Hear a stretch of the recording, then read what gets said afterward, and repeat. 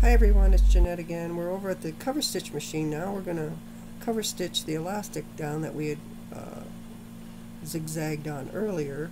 So um, my machine, I have a Brother uh, 2340 and it has a uh, three needle capacity but I'm only going to use the right in the middle. Uh, it's a narrow setting. Um, my settings are all at four um, and I use um, Maxi-Lock uh, stretch in the looper, only in the looper, no, not in the needles at all. So, and what I usually start where I started, where I ended the elastic here. So what I'm going to do is I'm going to turn it over, and I'm going to get it as taut on this end right here, uh, and then I'm going to, I don't start right on the seam, I start a little below it, and what I'm going to do is I'm going to show you with my scissors on on this plate here. I, I don't line it up with the edge of the plate. I ed, I line this edge of the fabric with the end of my feeder here. And because then I know that's that this needle is going to go on this side of the elastic. This needle is going to catch the elastic. So that's how I can gauge mine. So what I'm going to do is I'm going to do a couple of start stitches by hand. And then we're going to go and get this all finished and make it look pretty. Um, just throughout the whole thing make sure your elastic is up against this uh, you know uh, like this. You want it tight up against this and always just get it up against this little ledge right there. So here we go. I'm going to pull from the back on the, with the thread because uh, Maxi-Lock seems to want to burr every once in a while underneath here. Okay, so, and as you, as you do it, you can feel the elastic um, being caught by that one needle. You don't need to be caught by both, just the one. Because um, then your, your other one's going to actually cover the edge and that's what you want. You want a, a nice covered edge. But every once in a while it'll get off.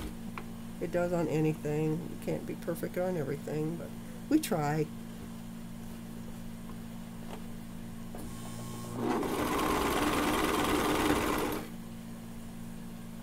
Alright, now I'm going to be coming up on a, the other shoulder seam. And I'll show you how I do that to where it's not bulky it shouldn't be bulky to begin with, but um, this is how I do it. Alright, we got through that. I'm doing the neck, so we'll see here. We'll turn that.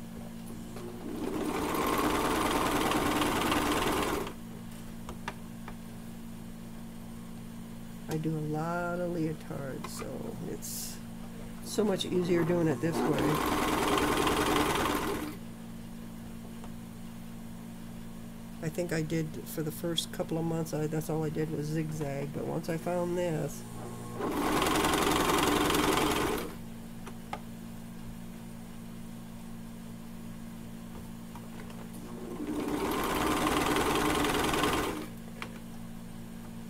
so now we're coming up on the end. And I'll show you how I do that, and I don't have to I don't have to tie off at the back. So here's the beginning stitches and what I'm going to do is I'm going to cut those off. And the back. Alright, we got rid of those. So now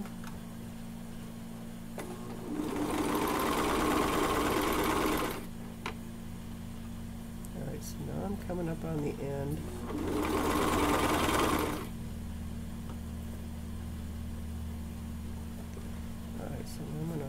Lay this flat.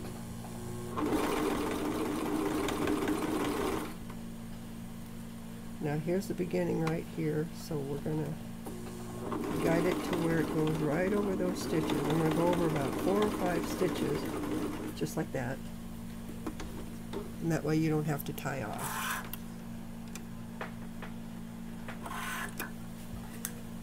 And I think on this particular machine, that's what the instructions say, is so you don't have to tie off, that's all.